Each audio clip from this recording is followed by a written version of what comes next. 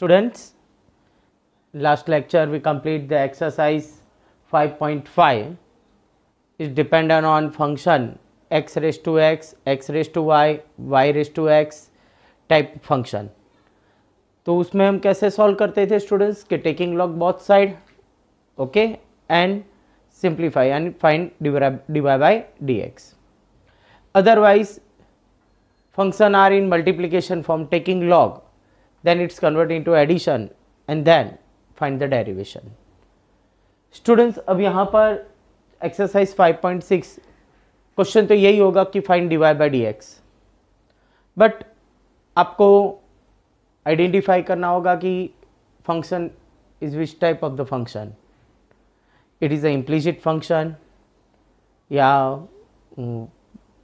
Exponential function है। तो यहाँ पर फ़ंक्शंस दिए x is equal to two at square and y is equal to at raise to four means यहाँ पर x is dependent on t and y is dependent on t. That is called the parametric equation यार functions is in the form of parametric equation x equal to at square and y equal to at square in second question x is equal to a cos theta and y is equal to b cos theta यानी it is dependent on theta तो आपको students find करना है d y by d x कैसे find करेंगे? तो now the first x जो function है उसका with respect to t and y वाले फ़ंक्शन का भी विथ रिस्पेक्ट टू टी आपको डेरिवेशन करना होगा। फिर दोनों का डिवाइडेशन करोगे, आपको आंसर मिल जाएगा। Now the first point x is equals to 2at square. Okay? Now differentiation with respect to t differentiation with respect to t that is the dx by dt dx by dt here 2a constant t square का क्या होगा 2t और t का फिर से 1 यानी 2a into two t we get 480 complete now next your second function is y is equals to 80 square. Second function y is equals to 80 raised to 4 okay and now this function is differentiation with respect to t. Differentiation with respect to t. Okay that is the dy by dt. Okay a constant and t raised to 4 that is 4t cube means 4at cube. Complete dy by dt here okay dx by dt and dy by dt अपने find कर दिया and now the find the dy by dx तो डिवाइडेशन करेंगे दोनों का यानी dy by dx we get dy by dt upon dx by dt dx by dt where dx by dt is not zero okay ये zero नहीं होगा। अगर ये dx डी टी ज़ीरो हो गया that is does not exist d y by d t is equal to four a t cube upon four a t means here four a four a cut and one times t cut four a four a cut और one time t cut हो गया t cube by t that is a t square तो आपका derivation हुआ d y by d x is equal to t square in short parametric equation में आपको क्या करना होगा? कि फ़र्स्ट एक्स फ़ंक्शन है विथ रिस्पेक्ट टू जो पैरामीटर्स है, यहाँ पे here parameter is t in this question parameter is theta तो with respect to t derivation करना है दोनों का और फिर d y by d x find करना है। Okay now second question is dependent on theta okay तो now here first function x is equals to a cos theta. That is with respect to theta, dx by d theta. A constant and cos theta means minus sin theta okay now dy by d theta with respect to theta b constant and cos means minus sin theta complete तो दोनों आपने solve कर दिए d y by d x d y by d theta and d x by d theta now dy by dx that is called dy by d theta upon dx by d theta. What is the dy by d theta? Minus sine theta upon minus a sine theta.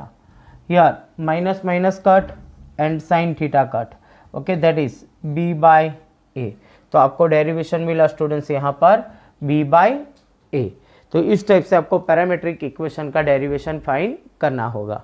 Clear okay now next example number three here x and y is dependent on t and derivation with respect to t so now the first dx by dt find करेंगे हम okay what is the x here x is equals to sin t that is differentiation with respect to t dx by dt sin t का derivation क्या होगा students cos t complete and y function जो है that is a dy by dt okay cos 2t that is a minus sin 2t and 2t का वापिस करेंगे that is 2 means minus 2 sin 2t okay minus 2 sin 2t dx by dt and dy by dt आपने find कर लिया now here dy by dx dy by dx means dy by dt upon dx by dt what is the dy by dt dy by dt means minus 2 sin 2t okay upon cos t students यहाँ तक answer right है but थोड़ा simplest form यहाँ पे formula है sign two T की। वो apply करके हम फाइंड करेंगे। Okay what is the sine two t? Minus two as it is sine two t that is two sine t cos t yes और no formula है आपके पास। Okay sine two theta two sine theta cos theta. And now here cos t cancel ये remaining is minus two into two sine t that is final answer d y by d x is equal to minus four sine t तो d y by d x आपको यहाँ पर मिल गया। Okay? Now next example number four here first function x is equal to four t and second y is equal to four upon t तो first d x by d t find करेंगे with respect to t derivation with respect to t dx by d t four constant t का क्या होगा? One that is four y वाला function with respect to t derivation करेंगे. Four constant one upon t one upon x one upon x का derivation क्या होगा students minus one upon x square your one upon t with respect to t that is minus one upon t square that is a minus four by t square okay दोनों derivation हो गया. Now your d y by d x means d y by d t upon d x by d t what is the d y by d t minus four upon t square okay and what is the d x by d t d x by d t is the four ये denominator is four four four cut minus one upon t square okay तो ये हो गया derivation okay now तो यहाँ पर students one two four question complete हुए. Basic था स्टार्टिंग था तो ईजी क्वेश्चन है. ओके आगे सेम पैटर्न यही रहेगी. X and y is dependent on parameter theta या टी पर डिपेंडेंट होगा। तो with respect to t derivation करना है d x by d t and d y by d t और फिर दोनों का डिवाइडेशन करना होगा। Okay okay?